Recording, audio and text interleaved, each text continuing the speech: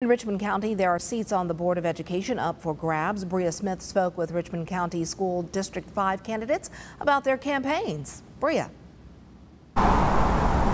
That's right, Dee. Well, right now the race is still too close to call between the three candidates. That's Monique Braswell, Christopher Mullins, and AK Hasan. Now, if elected, Braswell says she would start with implementing policy for students of all ages within the school system.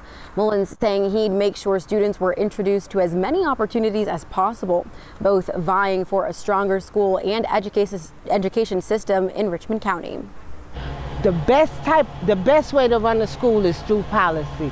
So that's my focus. I'm going to be down there and I'm going to be attempting to make the policies that make our school system go even further. Our voice, our children, our future, making sure that they understand and listen to the needs of the community and make sure that the community has a voice.